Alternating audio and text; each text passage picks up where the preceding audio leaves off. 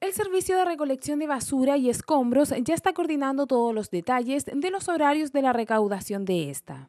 Durante la fiesta de la tirana, esta organización está siendo apoyada con la entrega de folletos. Bueno, yo estoy encargada del programa de servicio de recolección de basura y, extracción de escombros durante el tiempo de la tirana, que esto dura el primero de julio hasta el 31 de julio.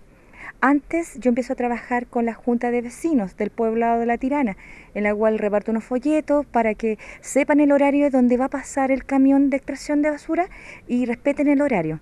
Gracias a Dios el año pasado tuve una buena coordinación con todas las juntas de vecinos y los clubes adultos mayores, en la cual trabajé en conjunto con ellos, avisándole a la gente que vivía en la población y los que no vivían, que llegaban a esa fecha, se pasaran la voz y respetar el horario y cosas así. Las postulaciones para las personas que deseen prestar sus servicios durante la festividad se ampliará hasta el viernes 30 de mayo. Estos serán seleccionados para una posterior charla informativa. Que se va a llamar ya por radio para que se inscribiera la gente que está interesada en trabajar.